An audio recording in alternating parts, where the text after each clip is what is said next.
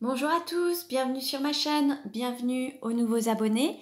Je remercie les abonnés pour votre fidélité. Je vous retrouve aujourd'hui pour une guidance pour les flammes jumelles à tout niveau de parcours. Donc je vais voir dans un premier temps dans quelle énergie est le masculin sacré, puis quelles sont les choses à travailler ou à libérer pour avancer sur ce parcours de flammes jumelles. Ensuite, nous verrons à quel niveau se situe le lien et comment il va évoluer. Allez, donc je vais utiliser différents oracles. Vous retrouverez les références dans le descriptif de la vidéo. Pour des compléments d'information, vous pouvez soit si vous le souhaitez, euh, prendre rendez-vous pour une guidance personnalisée, tout est noté dans le descriptif de la vidéo.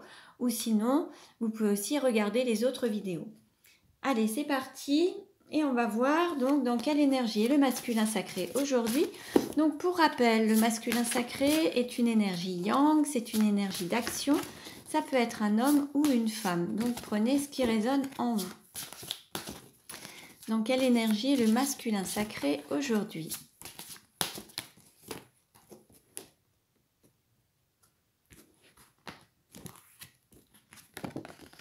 Nous avons le magicien avec le chiffre 8. Là, on a un masculin sacré qui n'est peut-être pas au top de sa forme. Euh, peut-être qu'il se sent pas très bien, peut-être qu'il a mal au cœur, qu'il est... Euh, alors, qui se laisse euh, peut-être... comment dire Mourir à petit feu. Quelqu'un qui qui a perdu un petit peu sa, joie de vivre, quelqu'un qui, qui se laisse peut-être brûler, enfin, euh, ou qui se brûle les ailes, ou qui quelqu'un qui n'est peut-être pas au top actuellement. On va voir. Alors, dans quelle énergie est le féminin sacré aujourd'hui? Dans quelle énergie est le féminin sacré aujourd'hui? Donc, le féminin sacré, c'est une énergie guide, une énergie d'accueil. Ça peut être un homme ou une femme également. Alors, pour le féminin sacré, on a le chiffre 9 avec une grande sagesse, une stabilité, un équilibre, beaucoup de sagesse. Alors on a cet équilibre à la fois du yin, du yang, du féminin et du masculin, un équilibre à la fois spirituel et matériel. Et puis là, on a un masculin en fait à côté qui, cherche cet équilibre, mais pour le moment qui a du mal à, s'y retrouver. Ou alors il faut peut-être euh, fondre une sorte d'armure pour pouvoir mieux renaître, ou faire fondre les masques, ou faire fondre des apparences pour pouvoir être authentique. Mais là, par contre, on a un féminin sacré qui a vraiment cette force, cette stabilité, cette sagesse, qui est... Euh, voilà, peut-être prêt à, aller sur un nouveau parcours, va peut-être euh, avancer sur la fin de quelque chose pour pouvoir renaître autrement. Alors, on continue. Quel message pour le masculin sacré? Quel message pour le masculin sacré?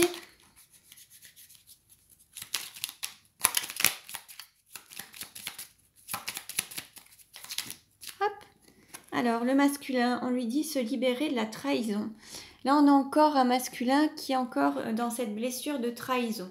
Alors, soit le fait de, de se sentir trahi, de s'être trahi lui-même, de ne pas avoir écouté son âme ni son cœur et d'avoir donné la priorité au mental, ou de se libérer d'un sentiment de trahison, euh, d'avoir été trahi par les autres ou d'avoir trahi certaines personnes. Donc là, l'idée, c'est de sortir de ça pour pouvoir avancer avec plus de légèreté. Quel message pour le féminin sacré? Alors on a deux cartes. On a se libérer des habitudes et se libérer des schémas répétitifs. Alors peut-être que là on a un féminin sacré qui tombe dans une sorte de monotonie ou qui se laisse porter mais sans, aller vers le changement. C'est un, un, féminin sacré qui aime bien rester dans une sorte de zone de confort, quelque chose, un train-train quotidien, quelque chose qui le rassure ou qui la rassure. Là, on invite le féminin à aller vers le changement, à changer euh, ses habitudes et puis aller vers la nouveauté. Alors, quel message pour le masculin sacré? Hop. Alors c'est pareil, s'aimer c'est s'ouvrir au changement. Là c'est pareil, on invite le masculin sacré à s'ouvrir au changement. à se libérer du passé pour s'ouvrir au changement et pour mieux renaître. Là, on avait ce masculin qui, qui se fondait peut-être dans une marmite, tel, euh, euh, je sais pas, un, métal, tel de l'étain ou quelque chose qu'on fait fondre, ou de l'argent ou de l'or, peu importe, pour pouvoir remouler, remodeler euh, et redonner naissance à quelque chose de nouveau. Donc là, l'idée, c'est aussi que le masculin euh, mettre fin à certaines habitudes, à certains schémas, enlève les masques et pour être authentique. Qu'il fasse fondre son armure. Allez, quel message pour le féminin sacré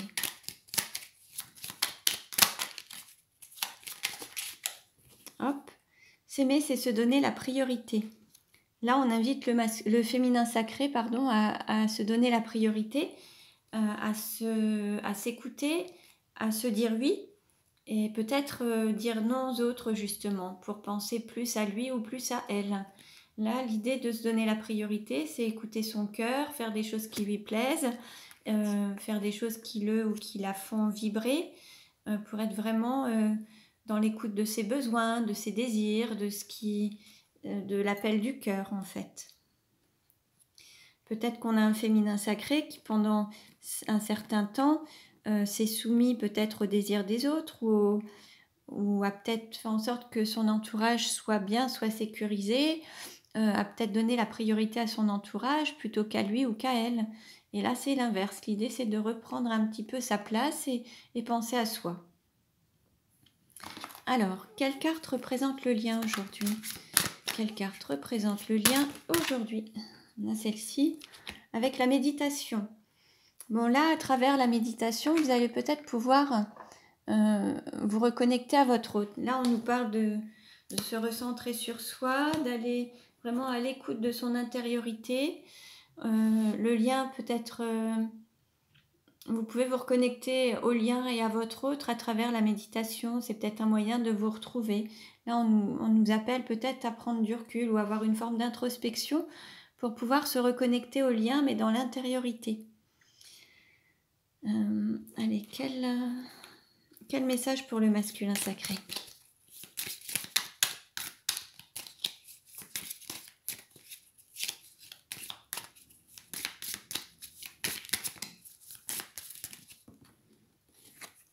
Là, on a le vide. Alors, soit on invite le masculin à faire le vide, alors euh, le vide autour de lui et en lui, pour pouvoir renaître ou se, donner une nouvelle naissance, hein, un petit peu renaître de ses cendres. Ou alors le masculin se sent vide et se sent sans émotion, sans amour, sans rien. Euh, donc euh, il se sent peut-être euh, seul ou vraiment sans, sans amour aussi. Peut-être qu'il se sent vide. Ou alors le masculin doit faire un vide autour de lui par rapport à un entourage, par rapport à une situation ou par rapport à des émotions. Quel message pour le féminin sacré? Un message pour le féminin sacré?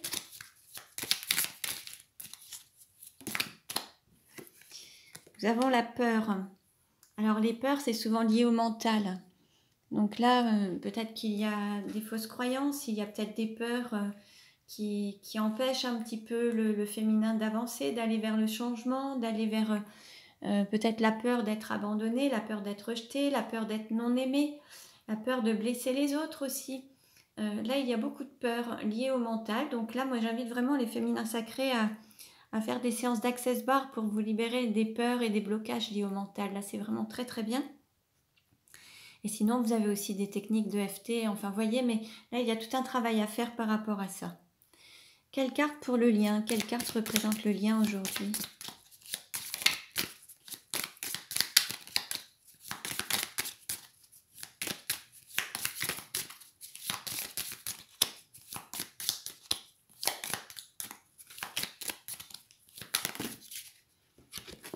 Alors, là, on nous parle de chant, de joie et d'estime de soi. Donc là, il y a vraiment euh, le fait de se reconnecter à la joie, alors euh, de, se reconnecter vraiment au chant, à des, belles choses en fait. Aujourd'hui, on va dire que le lien euh, peut se manifester, alors à travers aussi bien au niveau de la parole, à travers le chakra de la gorge, la joie avec le cœur, le chakra du cœur, et puis l'estime de soi en étant ouvert à l'émerveillement de la vie. en fait, c'est apprendre à s'aimer.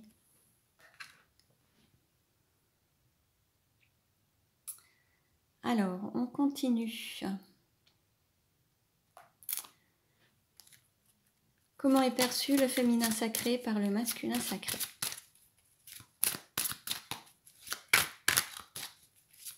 Comment est le féminin sacré par le masculin sacré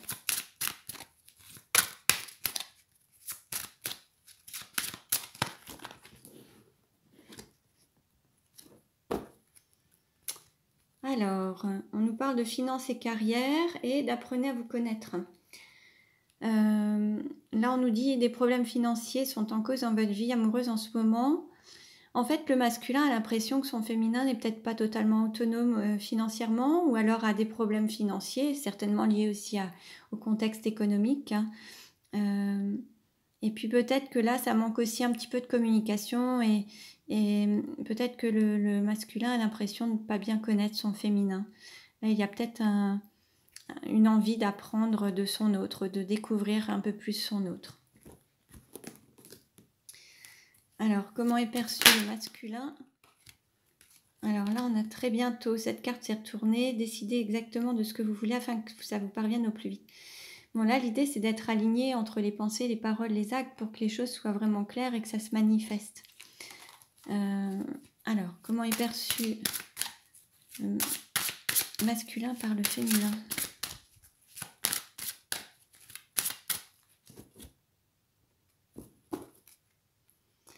Alors là, on a le fait de pardonner et d'apprendre et puis de laisser partir votre ex. Là, en fait, il y a...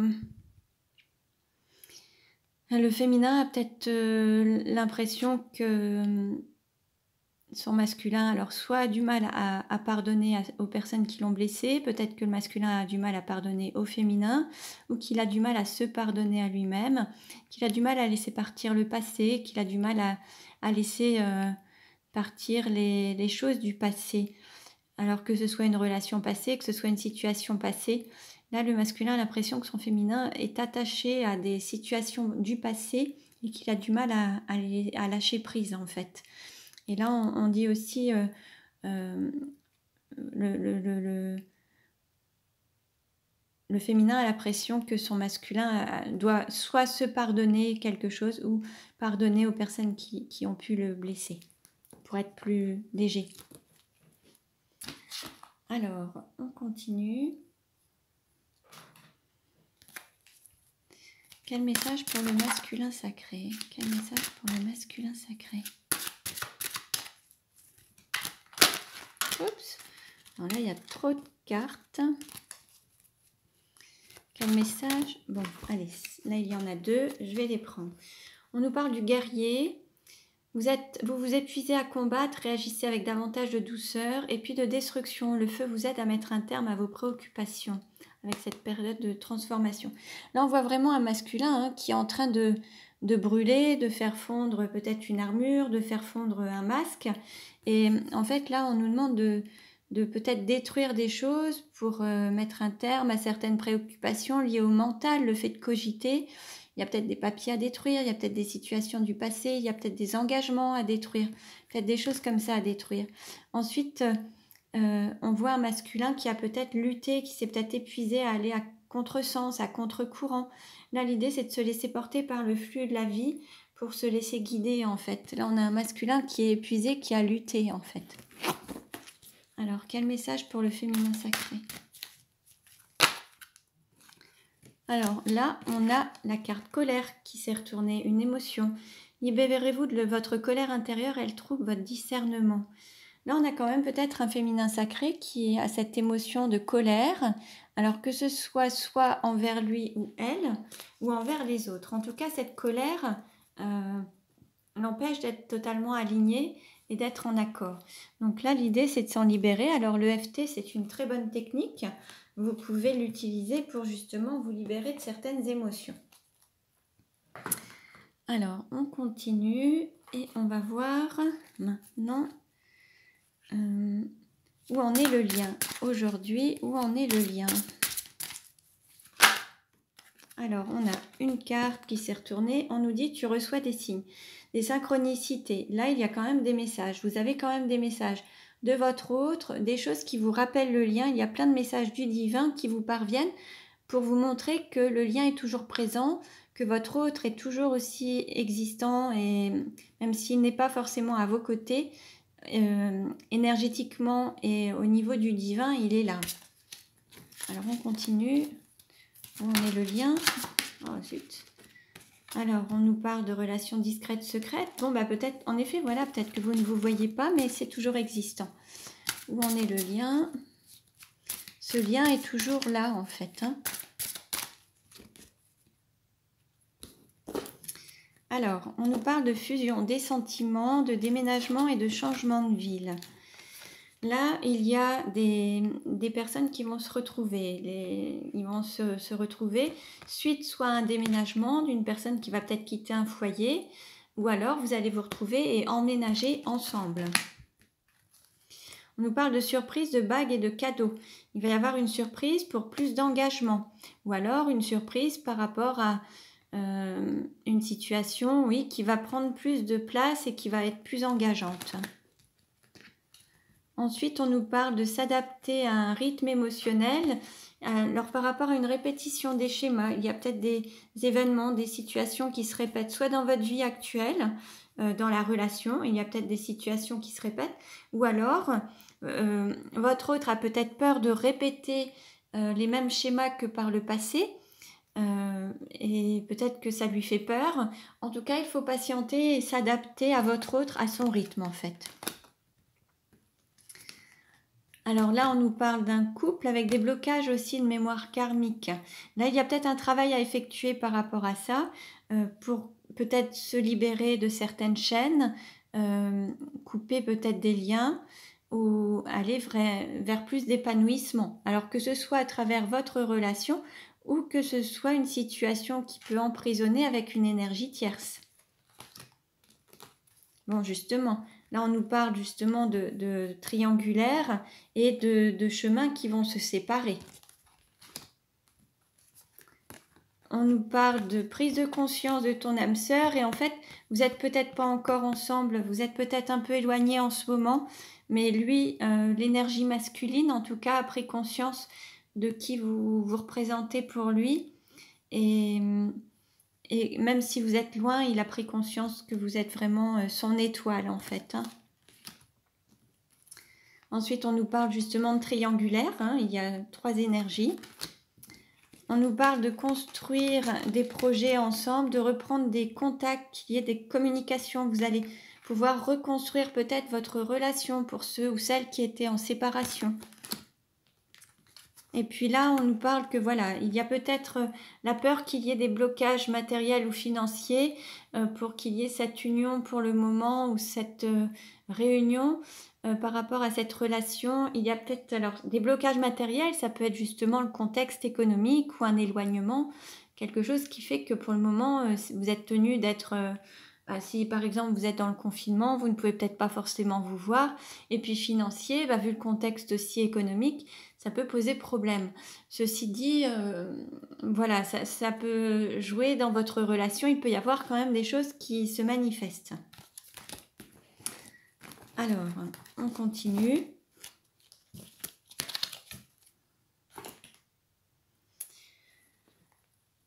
Alors, comment ça va évoluer? Bon, là, une carte à sauter. Le retour. Bon, il va y avoir une personne qui va revenir, un retour d'une situation passée, le retour d'une personne. Il va y avoir quelque chose.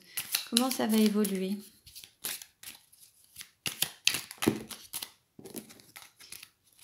Toujours avec une histoire de triangulaire. Comment ça va évoluer?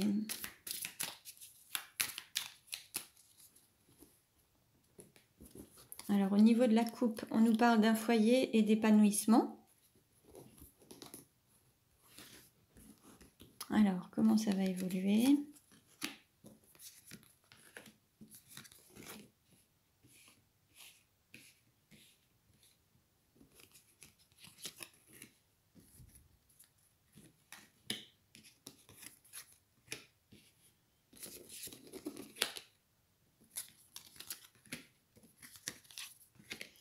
Je vais baisser un petit peu. Alors, qu'est-ce qu'on nous dit? Bon, il y a des personnes qui ont tendance à tourner en rond. Pour certains, c'est un cadeau. Peut-être que certains cogitent aussi. Et là, il va y avoir aussi un cadeau, justement. Euh, dans le don et le recevoir, il va y avoir un échange. Euh, ça va pas être à sens unique, justement. Ça va être dans le... Ça va circuler et ça va être à la fois dans le don et le recevoir. Ce sera pas à sens unique. On nous parle de dépendance ou de guérison. Euh, on nous parle de rapprochement. On nous parle de période sombre. On nous parle de renaissance. On nous parle d'engagement, de signature. Et on nous parle d'harmonie. Alors, qu'est-ce que ça nous dit hum.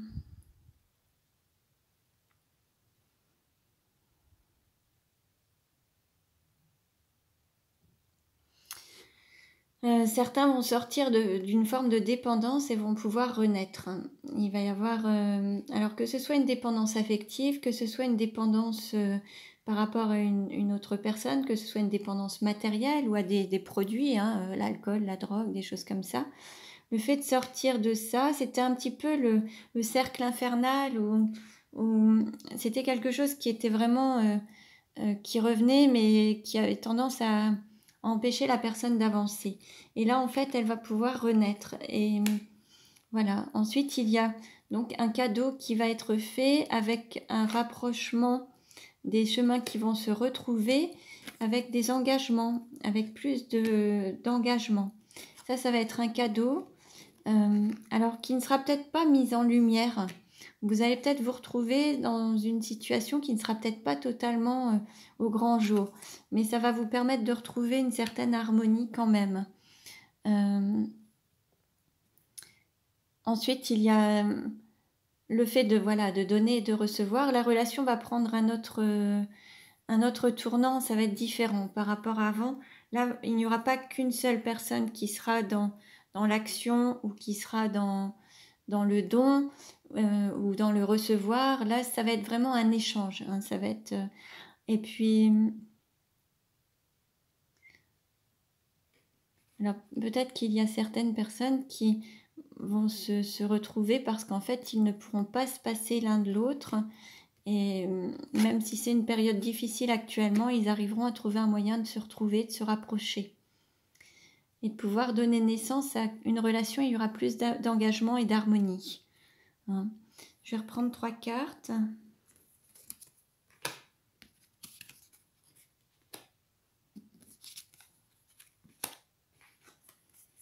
Bon, là, on nous parle d'amour hein. sur la période d'automne et la clé. Bon, là, on nous dit que la clé, c'est l'amour, en fait. L'amour... Euh, dans la relation, cet amour vrai, authentique et réciproque. Je vais remettre trois cartes supplémentaires. On nous parle d'union, d'engagement, d'apprendre de, et de prospérité. Euh, là, en fait, il y a... Euh, en fait, à travers cette relation, c'est quelque chose qui va vous, vous permettre d'apprendre à la fois sur vous, d'apprendre à, à vous connaître, d'apprendre à vous aimer et d'apprendre sur votre propre valeur et sur l'estime de vous-même. En fait, on nous parlait tout à l'heure d'estime de soi. Et dans cette relation, cette, cette union, vous allez apprendre à vous aimer personnellement et à vous donner de l'estime et à vous faire, à vous respecter, à vous aimer. Alors une carte pour la conclusion on nous parle d'écoute, le fait de s'écouter, d'écouter son cœur, d'écouter... Euh, alors comme on, a pu le voir également ici à travers la méditation, le fait de s'écouter, c'est écouter ses besoins, écouter ses désirs, ses envies, et puis être dans le dans cet aspect euh, écoute de soi, écoute du cœur, écoute de ses sentiments, euh, ne pas tenir compte des, des discours des autres, mais vraiment écouter son intériorité, son guide interne en fait, pour être en accord avec son âme. Donc euh, en étant euh, dans l'écoute de soi, alors pas des peurs du mental, mais de l'écoute du cœur, parfois il faut aussi faire le vide pour pouvoir s'écouter. Euh, c'est ce qui va vous permettre d'avancer et d'aller vraiment vers cette prospérité, cette abondance dans la relation en fait. Hein. Donc voilà pour aujourd'hui. Je vous invite à consulter les autres vidéos pour avoir des compléments d'informations. Euh, merci pour votre écoute. Vous pouvez vous abonner à ma chaîne, partager les vidéos, liker. Merci. Je vous dis à très bientôt et prenez bien soin de vous.